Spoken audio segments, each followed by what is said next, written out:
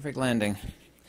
It's astonishing all the garbage we're taught in school it turns out to be a complete and total lie. The people that actually spawn those agendas to propagate the nonsense and the lies that we're supposed to believe in. Uh, every commercial and everything we actually see in the media makes Einstein out to be like almost alien like superintelligence. And the truth turns out to be something not different, but totally the opposite. um, I'd like to go on to and quote uh, Nikola Tesla and actually talk about what he said relative to Einstein. I'd actually like to point out, and I think there's like five books written on this subject alone about where Einstein actually got his sources from. There's a lot of uh, free material about Henri Poincaré. Um, it's on archive.org. All the stuff that you think Einstein was brilliant for is actually stolen by Einstein, taken from Henri Poincaré. That would be H-E-N-R-I P-O-I-N-C-E-R-E. Also, too, and I have a copy of it. It's, it's a prestigious publication, Princeton University Press, and it's only one of. It's Einstein's travel diaries. You can actually find it on Amazon.com. The stuff that actually Einstein penned in his travel diaries is so nail curling. I, I, can't even tell you the stuff that he actually said in his travel diaries about different uh, peoples and whatnot. But anyway, the only thing that you can actually say Nikola Tesla comes close to foaming, and it's certainly not envy, comes close to foaming at the mouth about is against Einstein and relativity and this uh, idea of uh, curved space-time I'm going to read a little thing here from uh, Nikola Tesla. This is um, Einstein has for years developed formulas explaining the mechanism of the cosmos. In doing so, he's overlooked many important factors, namely the fact that some of these heavenly bodies are increasing in distance from the sun. This is the same as uh, writing a business letter and forgetting the subject you wish to write about relative to Einstein when he's talking about in his uh, uh, cosmological constants, uh, which Einstein even himself later, and I don't know if that's because Nikola Tesla dumped all over it, but Tesla goes on saying, in order to explain this phenomena, Einstein has uh, invented the quantity uh, lambda. Uh, my theory of uh, gravitation explains this phenomena perfectly. Um, Nikola Tesla, in relationship to relativity in Einstein, says in the presence of large bodies, the notion that space becomes curved is equivalent to stating that something can act upon nothing. I, for one, refuse to believe in such a view. Um, he also, too, even wrote a poem against Einstein. It's called uh, Fragments of Olympian Gossip. He actually gave it at a dinner party, which I, uh, Tesla really loved dinner parties. He loved uh, being uh, heralded and toasted and fed a lot of uh, free food good free food. Relativity is a beggar wrapped in the purple uh, robes of a king who ignorant people take for a king. This theory, Tesla said, wraps all these errors of relativity and fallacies and clothes them in a magnificent mathematical garb which fascinates, dazzles, and makes people blind to the underlying errors. This theory is like a beggar clothed in purple whom ignorant people take for a king. My conclusions are different from Einstein to that extent, uh, tend to disprove Einstein's theory, my explanations of natural phenomena are not so convoluted as his. Uh, mine are simpler, and when I'm ready to make the full announcement, we'll see that I have proven my conclusions. These would be part of the uh, the texts and the trunks of Nikola Tesla, which were seized by the government. By the way, when uh, Tesla died, all his papers that were seized, this is not like conspiracy or rumor, it's hardcore fact. They're seized by the Office of Alien Affairs. It's not about actually outer space aliens, meaning things ab extra to the government. Office of Alien Affairs. And they were seized by the great uncle of Orange Man, Orange Man is bad, John G. Trump. Um, Nikola Tesla knew John G. Trump, the great uncle of. There's even like a two hour long interview of John G. Trump on uh, YouTube. Uh, Tesla thought that he was uh, quite unintelligent, actually. Um, Theory of relativity is a massive error, and deceptive ideas violently opposed to the teachings of great men of science of past, and even to that of uh, common sense. Einstein is a beggar, dressed in the purple robes and made king by his dazzling mathematics that obscure the truth. Uh, since action and, re uh, action and uh, reaction are coexistent, it follows the supposed curvature of space-time is entirely impossible. The scientists from Franklin to Morse were clear thinkers and did not produce erroneous theories, as per referencing um, Einstein. Um, anyway, uh, this idea of uh, curved space-time and uh, Einstein's uh, idea creation of a lambda, uh, he considered that, Einstein considered that his biggest blunder and realized that the lambda, i.e. cosmological constant, was no longer necessary, and uh, he scrapped the idea. Um, the relativity and uh, quantum is a bunch of uh, completely ludicrous nonsense. They actually expound things that are never input or output of any experiment i.e. Uh, virtual particles. They keep calling it dark matter or dark energy. This is not my view, this is their own words. The reason why they call it dark matter or dark energy is two reasons. By their own admission, not mine, theirs. They call it dark because they have no idea what it is. That's not my opinion, that's what they themselves say. They uh, call it dark matter, the second half of which matter because they're atomists, they're mathematicians. They're not uh, true scientists. They think everything is matter. When you're an atomist, everything is matter, a particle. When you're a hammer, everything is a nail. So this is the reason why they call it dark matter dark energy. That's not my supposition. That's their own admission. They think it's matter because they think everything's matter, and they call it dark because they have no idea what it is. Um, they don't understand fields. They've never actually defined fields, but I'd actually like to get uh, further on into uh, Nikola Tesla. He talks about fields. Um, during the succeeding two years of intense concentration, I was fortunate enough to make far-reaching discoveries, the first of which was my dynamic theory of gravity, which I have worked on in all details and hope to give to the world very soon. That would have been the stuff that uh, our government and John G. Trump seized after Tesla's death. It explains the causes of this force and motions of heavenly bodies under its influence so satisfactorily, and I will put an end to idle speculations and false conceptions as that of curved space. In other words, Einstein is a fool, Nikola Tesla is saying here. According to the relativist, i.e. Einstein, space has a tendency to curvature owing to an inherent property or presence of celestial bodies. Granting a semblance of reality to this fantastic idea, it is still self-contradictory. Every action is accompanied by an, e an, equivalent reaction, and the effects of uh, the latter are directly opposite to those of the former.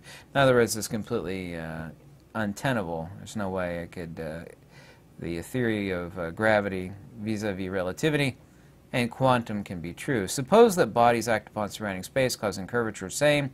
It appears to my simple mind that curved space must react on the bodies and producing the opposite effects, therefore thence straighten out the curves. Since action and uh, reaction are coexistent, it follows that the supposed curvature space is entirely impossible. But even if it existed, it would not explain the motions of bodies as observed. This is the most important point. Only the existence of a field of force can account for them, and its uh, assumption dispenses with uh, the nonsense of space curvature. All literature on the subject is futile and destined to oblivion. So are all attempts to explain the workings of the universe without recognizing, recognizing the existence of the ether and the indispensable function it plays in field phenomena. My second discovery was a physical truth of greatest importance as I've searched scientific records in more than half a dozen languages. For a long time, without finding the least anticipation, I consider myself the original discoverer of this truth, which can be expressed by this statement. There is no energy in matter other than that which it receives from its environment. There's a weird clicking noise. It's actually over there. Sorry about that. I'll edit that out. When he talks about the environment, he's actually talking about the ether. So when uh, to make this more simple for people to understand it, I'll make this simpler of what Tesla says. There's no energy in atoms or gross matter other than that which it receives uh, from uh, the ether itself. In other words, of course, as I've talked about, all matter is a compound of hydrogen, and hydrogen itself is just super high energy light. So that is 100% in line with uh, what Nikola Tesla has said regarding matter. Um, reference to it, meaning significant has come more clear to me since then. Applies rigorously to molecules and atoms as well as the largest heavenly bodies. So anything that applies to matter. fundamentally both to hydrogen or anything more compound of hydrogen, because all atoms and elements are compounds of hydrogen, and also necessitatively applies to um, you know large heavenly bodies or anything of mass and magnitude. Uh, so-called gravity, as I've said before many countless times, is nothing other than uh, non-point source mutual mass acceleration, or no different than electrostatic cling, where you can, you know, I'm not going to do it here. You need to take two towels or pull them out of the laundry, and they're sticking together, and you hear that static cling. That same uh, field phenomena is no different than so-called gravity, and also too no different than point source mutual mass acceleration of uh, so-called magnetic attraction, which is not based in magnetism at all. Magnetism is the force vector of the loss of the uh, energy of the dielectric, and uh, dielectricity is, of course, increasing inertia and acceleration towards null pressure, i.e. inertia. And no masses actually ever accelerate towards one another. Observationally, they do.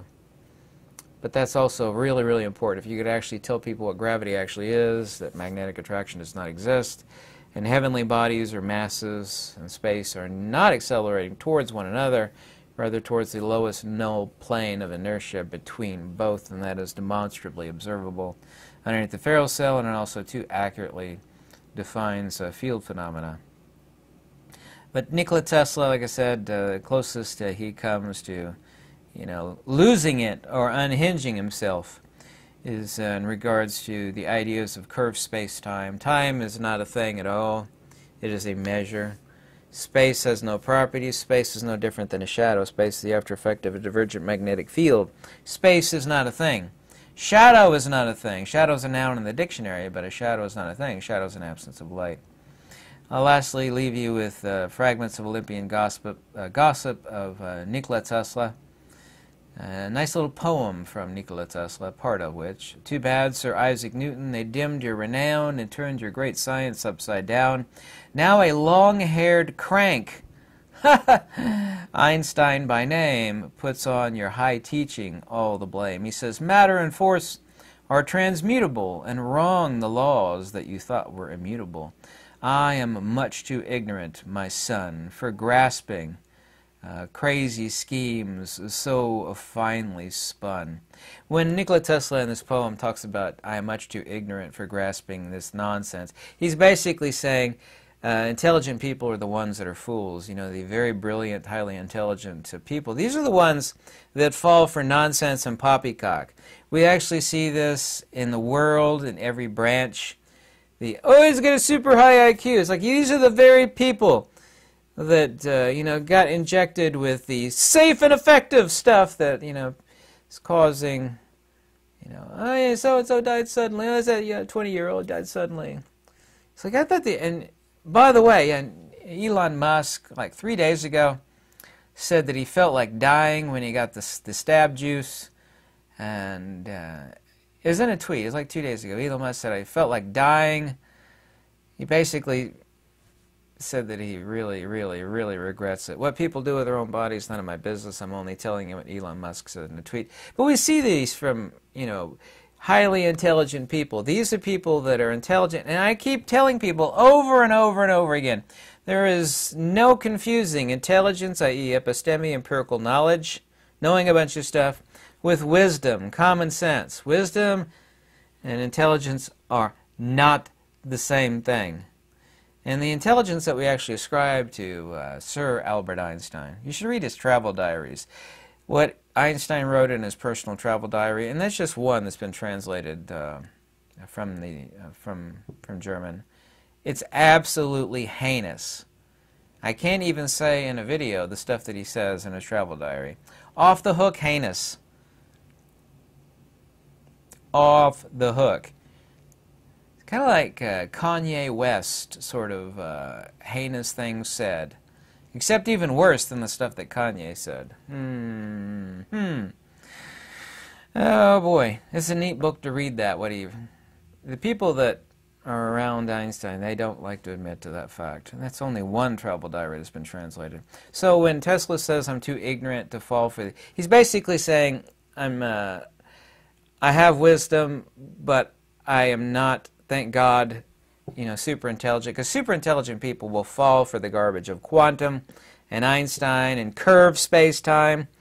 Do you know, for a fact, it's not my opinion, for a hardcore fact, these people do believe that what's coming out of a magnet, not that this is a magnet, is virtual photons, virtual particles.